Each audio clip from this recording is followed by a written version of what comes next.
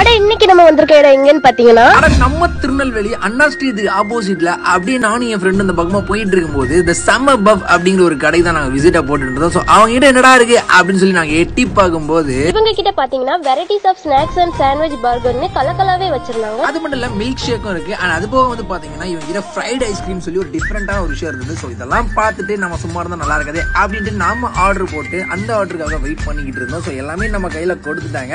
So நம்ம கை first வந்ததை எடுத்து ட்ரை பண்ணி பார்க்கலாம்னு சொல்லி எல்லாத்தையும் மொத்தமா எடுத்து போய் நம்ம டேபிள் தூக்கி வச்சோம்.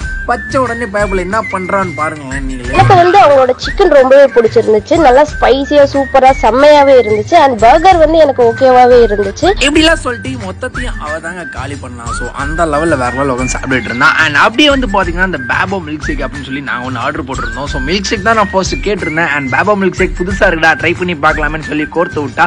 சரி ஓகே அப்படின்ட்டு அதை வாங்கி டேஸ்ட் பண்ணி பார்க்கும்போது டேஸ்ட் வைஸ் வந்து பார்த்தீங்கன்னா டிஃப்ரெண்ட்டாலாம் இல்லை. நார்மலாக நம்ம குடிக்கிற மில்க் ஷேக் மாதிரி தான் இருந்துச்சு.